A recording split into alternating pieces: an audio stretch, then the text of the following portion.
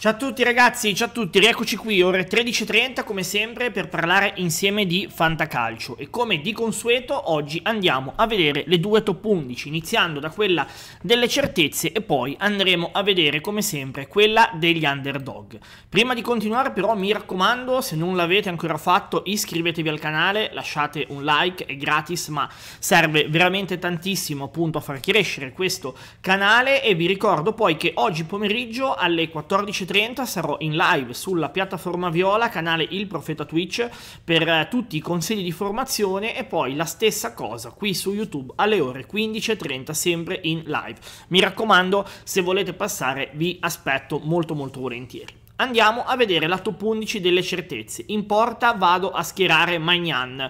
Si deve riscattare dopo la brutta prestazione dell'ultima giornata la partita contro l'Udinese delle 18.45 di oggi. Potrebbe essere un'ottima occasione. Dumfries nell'Inter ormai è una garanzia da schierare assolutamente sempre. Dovrebbe tra le altre cose partire titolare contro il Genoa. Singo merita una promozione tra le certezze, uno degli underdog più riusciti di quest'anno quest'anno e quindi diamogli un posto nella top 11 delle certezze, certi che anche contro il Cagliari potrà fare bene. E poi Quadrado, il bug della difesa, dovrebbe giocare titolare nel tridente offensivo o comunque in fase avanzata, assolutamente da schierare il brutto voto, difficile che arrivi, magari non arriverà il bonus, ma lui è uno dei difensori che ha più possibilità di portarvi bonus, quindi a parer mio in una top 11 come questa va sempre schierato.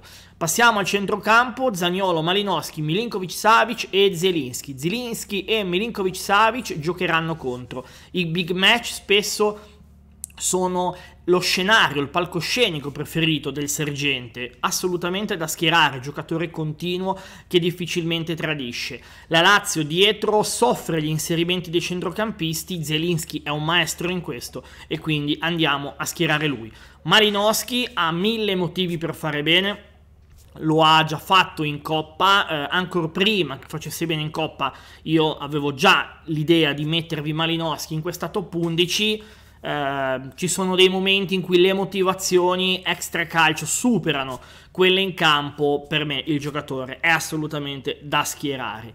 Zaniolo, Roma, torna, nelle ultime partite in cui aveva giocato era stato uno dei migliori della sua squadra, ora deve dimostrarlo anche però lasciando traccia con i bonus. Arriviamo al tridente, Berardi, la garanzia da doppia doppia, assolutamente da schierare Dusan Vlaovic che potrebbe tornare al gol anche in campionato e Abram che contro lo Spezia può anche lui lasciare il segno. La Roma ha recuperato un po' di infortunati, quindi mi aspetto una partita vivace con una Roma che davanti qualcosa di importante lo potrà sicuramente creare. E adesso andiamo a vedere la top 11 degli underdog.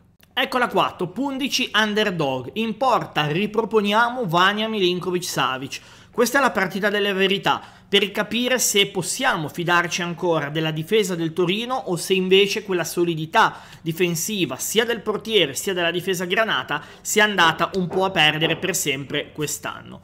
In difesa andiamo a proporre Faraoni, Molina e Bellanova. Bellanova del Cagliari, giocatore che sta continuando a crescere, assolutamente da schierare. Magari non è ancora un giocatore dal bonus costante, ma è sicuramente un giocatore che può fare bene. Molina dell'Udinese Già l'ultima partita ci ha fatto vedere le sue doti, ci ha confermato le sue doti, una traversa quasi in crocio pazzesco. Dalla sua parte c'è Teo Hernandez, quindi se da un lato potrà subire, allo stesso tempo Teo, come sappiamo, qualche spazio dietro lo lascia sempre. E quindi andiamo a provarlo eh, sapendo che è un azzardo, sapendo che il voto brutto può arrivare, ma può arrivare anche il bonus. Consigliatissimo nelle difese senza modificatore. E poi Faraoni, il Verona in casa, ma anche anche fuori casa segna sempre tanto, lui è un esterno ma è listato difensore, altro mini bug, proviamo a sfruttarlo. A centrocampo Verdi contro il suo ex Bologna, anche lui potrebbe fare il gol dell'ex, ultimamente ha già fatto molto bene, la Salernitana è diventata una squadra che subisce ma crea anche tanto, quindi si possono iniziare a schierare anche dei giocatori offensivi della Salernitana che sì, nel Milan è vero, lui quest'anno partiva da top, ma durante l'anno è stato spesso sottovalutato anche giustamente per via delle sue prestazioni. Qui lo vado a inserire un po' negli underdog in attesa che si possa riconfermare. Ricordiamoci che comunque è il rigorista del Milan, qualche gol su azione lo ha anche fatto quest'anno, quindi andiamo a proporlo in mezzo al campo negli underdog. Orsolini, altro rigorista L'ultima partita ha visto protagonista Arnautovic, chissà che questa volta il protagonista non possa diventare lui. E poi Pobega, Juric in questo momento sembra dargli fiducia, non so quanto durerà eh, per il discorso contrattuale, ma in questo momento sfruttiamo questa cosa, dovrebbe giocare nuovamente sulla tre quarti e quindi andiamo anche qui a riproporre Pobega.